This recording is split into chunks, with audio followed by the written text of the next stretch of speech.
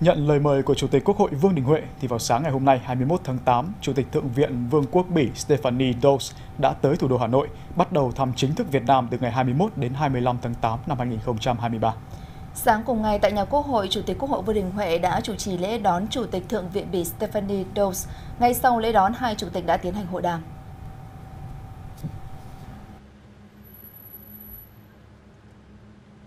Chủ tịch Quốc hội Vương Đình Huệ nồng nhiệt chào mừng Chủ tịch Thượng viện Stephanie Dawes, chính khách cấp cao nhất của Bỉ thăm chính thức Việt Nam trong năm 2023. Đánh giá chuyến thăm diễn ra trong bối cảnh đặc biệt khi hai nước kỷ niệm 50 năm thiết lập quan hệ ngoại giao và 5 năm đối tác chiến lược trong lĩnh vực nông nghiệp, là dịp để cùng trao đổi các định hướng, giải pháp tăng cường quan hệ hữu nghị và hợp tác giữa hai cơ quan nghị viện và hai nước.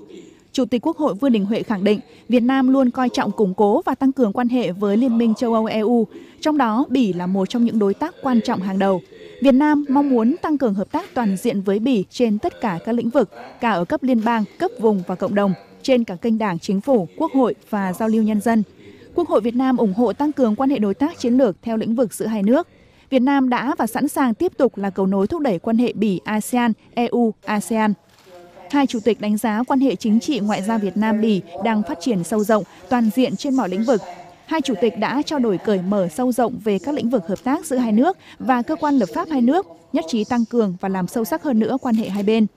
Chủ tịch Thượng viện Bỉ đánh giá Hiệp định Thương mại Tự do Việt Nam EU EVFTA được triển khai tích cực trong thời gian qua đã đem lại những lợi ích cho cả EU, các nước thành viên và Việt Nam. Mong muốn Việt Nam thúc đẩy các giải pháp về thông quan, tạo thuận lợi thương mại, miễn visa, để tạo thuận lợi hơn nữa cho người dân, nhà đầu tư Bỉ đến với Việt Nam.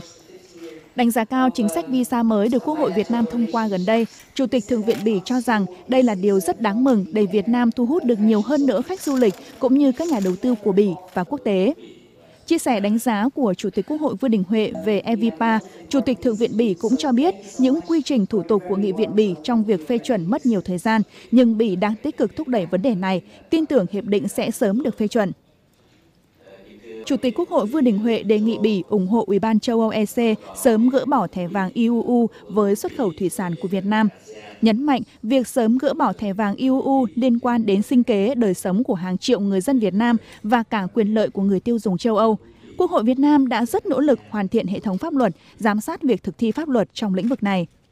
cho biết Bỉ rất thấu hiểu vấn đề này. Chủ tịch Thượng viện Bỉ đánh giá cao sự nỗ lực của cả Việt Nam và EU trong gỡ thẻ vàng IUU và đã chuyển thông điệp đến các nước thành viên. Chủ tịch Thượng viện Bỉ nhất trí cho rằng hai nước cần tăng cường hợp tác trong lĩnh vực thích ứng với biến đổi khí hậu, đổi mới sáng tạo và phải nỗ lực hơn nữa, khẳng định Bỉ sẵn sàng hợp tác với Việt Nam về các lĩnh vực này.